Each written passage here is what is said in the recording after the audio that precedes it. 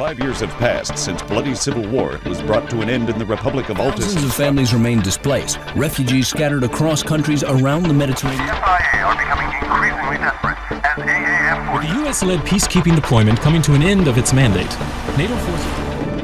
As millions of dollars of military equipment and infrastructure is decommissioned, Opinion is split as to the wisdom of the drawdown. In drawdown. light of CSAT forces stepping up joint military exercises in the Pacific. The U.S. is keen to reorient its conventional forces, reinforcing the Mediterranean basin representing a strategic fault line between crumbling European influence. Streets of and Rome were ablaze last night as military enforcement Argue that the withdrawal could not come at a worse time. AAF forces begin to consolidate their position on The backing of Canton Protocol forces, equipment and training. fire again was used as a platform to push the legitimacy of the government. Parliament was recalled for an urgent debate and a vote over the possible redeployment of British peacekeeping forces. Prime Minister Nicholas Ramsden said he would respect the defeat of his government's Which motion. effectively ruled out the possibility of any extension to the NATO deployment in the former sovereign territory.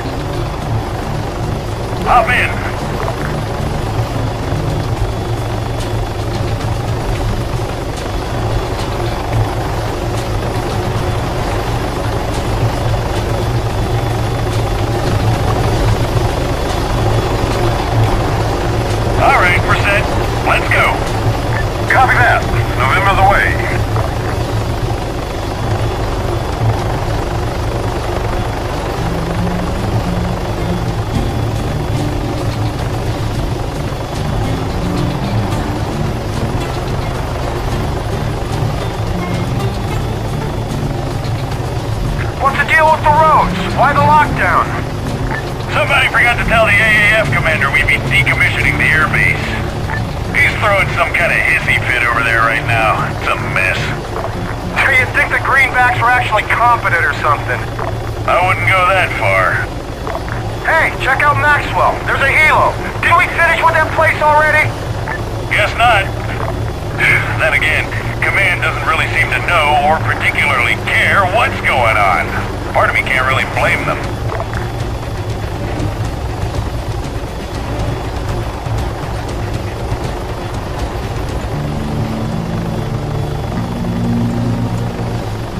Mike-26 sure looks quiet. Yeah, most of the guys have shipped out already. Just us lucky few left doing the monkey work, huh? You'd rather be on a boat in the Pacific, huh, Sergeant? I'd rather be the hell off this rock, sir.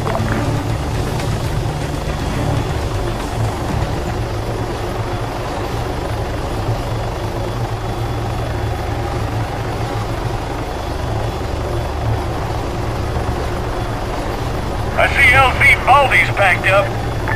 Nice. At this rate, we might even get out of here in, oh, 20 years. Greenbacks wouldn't stand for that shit, Lazy. They've had to stick up their ass about Baldy for weeks now. Yeah? Well, they can respectfully go fuck themselves, sir. We didn't butcher half our own population, and I sure as hell didn't ask to be on their pissant island. Well, ain't that just half the problem? I thought the roads were closed. They are. Well, why is there a truck leaving Rogain? Good question. No idea. Maybe something important.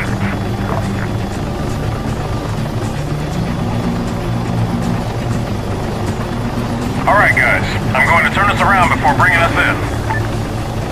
Try not to fall off.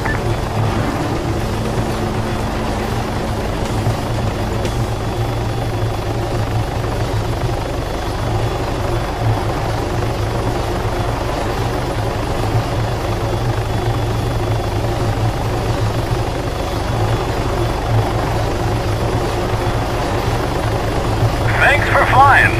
Please disembark in an orderly fashion. Kerry, go check in with the lieutenant over there. He runs the show here at Rogain. Lacey, I don't know. Make yourself useful for a change. I gotta piss.